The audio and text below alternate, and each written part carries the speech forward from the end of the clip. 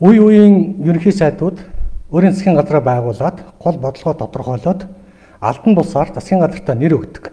Санаж байгаа бол шинчиллийн засгийн газар, эв нэгдлийн засгийн газар мэтэр явж ирсэн. Өнөөдөр оюун эрдэнэ ерөнхий сайдын байгуулсан засгийн газар ямар бодлоготой ямар нэршилтэй нь огт тодорхойгүй. Хийж байгаа үйл явдлуудыг хараад үзэхээр оюун эрдэнэ засгийн газар бол PR-ын засгийн газар байна. Оюун эрдэнэ засгийн газар entertainment засгийн газар болж байна.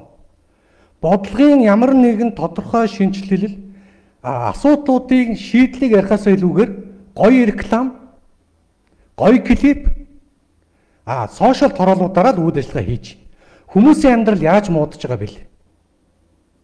Юмны үн яаж өсөж байгаа бэлээ? Эдийн засаг ямар том хоригдлонд орж байгаа бэлээ? Гадаад бодлогын залхам жалаа яаж багасж байгаа билэг гих бүх зүйл дээр асуудлыг шийдэхийн оронд ердөө л оронд нь яг хөө хёростүүдтер хийсэн гоёл юм цацдаг. Ийм PR-ын засгийн газар болтлоо.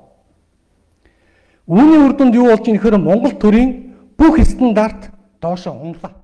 Гадагшаа ямар ч үр дүнгүй айлчлал хийчээд нэг нохоо бэлгэнд авчаад ямар мундаг гадаад айлчлал хийвэ гэж өөрийгөө хэвлийнхэнд магтдаг ийм л ерхий сайдтай ийм л засгийн газартай байна.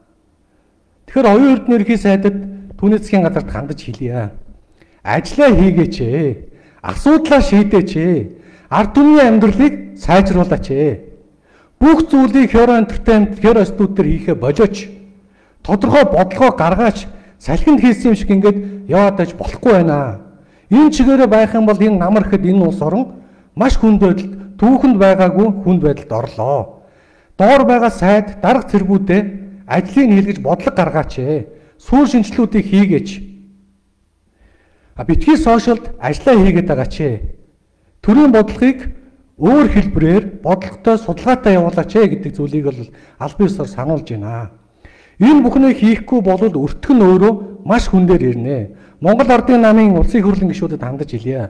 Засгийн газрын ажлыг хийлгээч ээ. Юм бүгдийг PR-аар хийдэг им энтертайм засгийн газраа болохгүй бол солиоч ээ. Энэ бүхний өртөгч нь маш өндөрөөр ин шүү. Нийгмийн легитим чанар алдагдаад ирэхээр хувь хувьсгал руу ирдэн шүү. Намар ийм зүйл рүү очин шүү гэдгийг бас анхааруулж байна.